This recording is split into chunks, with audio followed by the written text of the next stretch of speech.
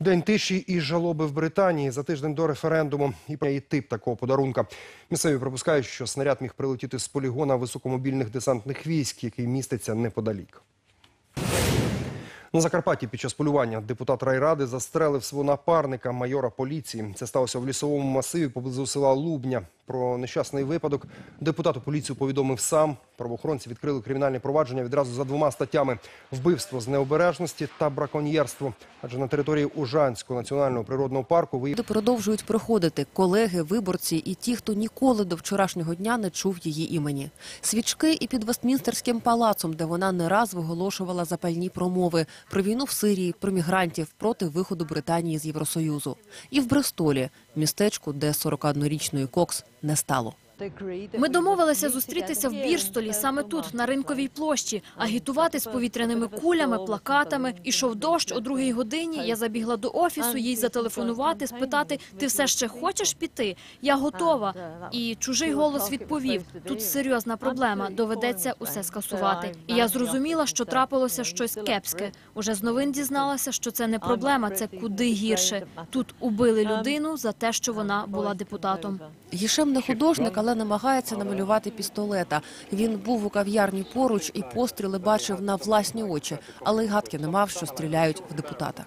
Я його бачив. Так, він витяг пістолета з сумки, ось так і вистрелив.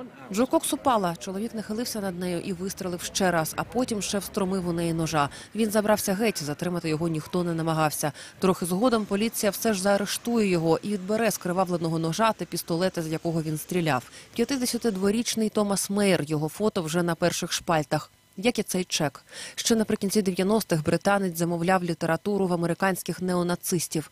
Як робити зброю вдома, як робити вибухівку, звідки брати набої. Свідки кажуть, він кричав «Британія перш за все». Це назва місцевої радикальної партії затятих євроскептиків, які одразу ж складають із себе усю відповідальність.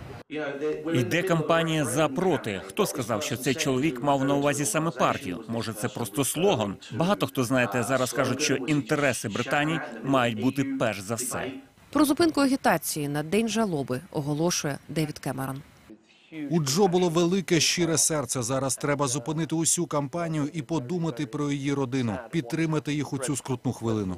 Її смерть ненадовго об'єднує непримиренних суперників, консерваторів і лейбористів. Ще один колишній опонент Джо Кокс, канцлер британського казначейства, говорить за багатьох про виклик, з яким знову зіткнулася Британія.